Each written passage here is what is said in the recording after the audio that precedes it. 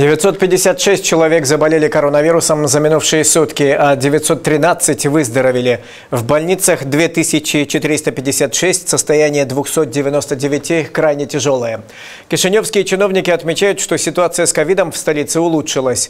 Из городских больниц выписывают все больше пациентов, а нагрузка на систему здравоохранения немного спала. В реанимациях, правда, все неоднозначно. Там все больше тяжелых пациентов, а места ограничены.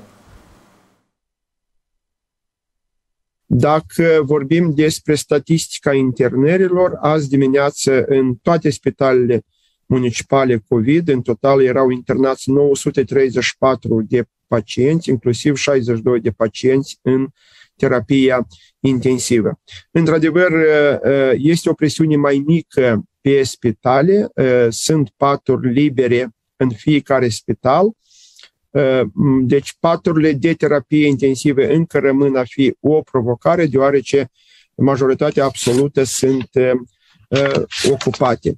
Что касается образовательных учреждений, то на прошлой неделе там зарегистрировали 61 новый случай заражения COVID-19 среди учеников. Так, в 20 из 131 школы часть школьников обучается дистанционно, а 646 находятся на самоизоляции. Numărul de cazuri noi de infectare a elevilor înregistrat în ultima săptămână a fost de 61 de elevi, iar total sunt 200 de uh, elevi uh, testați pozitiv. De asemenea, uh, 9 cazuri noi în uh, rândul cadrelor didactice a fost uh, constatat uh, și total cadre didactice confirmate pozitiv este uh, numărul fiind de 34 de persoane. В Кишиневе самый высокий уровень вакцинации по стране. На данный момент иммунизировано около 40% населения.